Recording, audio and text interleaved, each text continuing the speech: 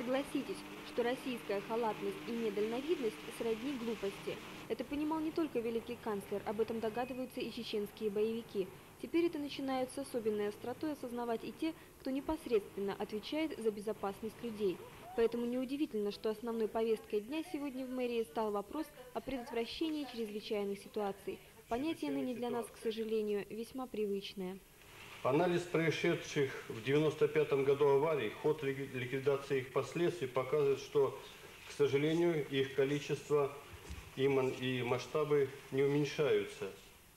Собравшиеся заслушали доклад начальника городского штаба по предотвращению чрезвычайных ситуаций, полковника Димитрова. Доклад представлял собой отчет по деятельности городского штаба. Кроме того, говорилось о ряде мер, которые будут предприниматься в 1996 году. В таких напряженных ситуациях, естественно, возникает вопрос о техническом оборудовании структур, на которые возложена нелегкая обязанность охраны людей, и предотвращению экстремальных ситуаций. В этом смысле радиотелефон и подвижной связи, пейджеры – вещи необходимые, так как важность быстроты сообщений недооценивать здесь нельзя. Пейджер – переносное маленькое устройство, пришел на помощь телефону. Информация, которую вы получаете, выводится на небольшой дисплей. Память с возможностью запоминания до 60 сообщений. Переданная информация сохраняется в памяти пейджера. Действует он в радиусе 70 километров.